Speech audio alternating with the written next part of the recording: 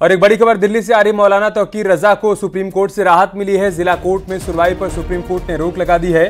2010 में हुए दंगे में फरार घोषित है तोकीर रजा। बरेली जिला कोर्ट से फरार घोषित है तोकीर रजा। हाई कोर्ट से राहत नहीं मिलने पर सुप्रीम कोर्ट में उसने अर्जी दाखिल की थी। वहाँ से उसे राहत मिली है। ये बड़ी खबर हम आपको बता रहे हैं। दिल्ली से मौलाना तोकीर रजा को सुप्रीम कोर्ट से बड़ी राहत मिली है। जिला कोर्ट में सुनवाई पर सुप्रीम कोर्ट ने रोक लगा दी है।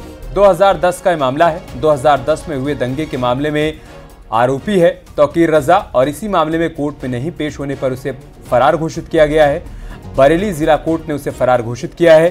हाई कोर्ट में भी उसने अर्जी दाखिल की थी। वहाँ से उसे कोई राहत नहीं मिली, जिसके बाद उसने सुप्रीम कोर्ट का रुख किया और आज सुप्रीम कोर्ट से उसको राहत मिली है।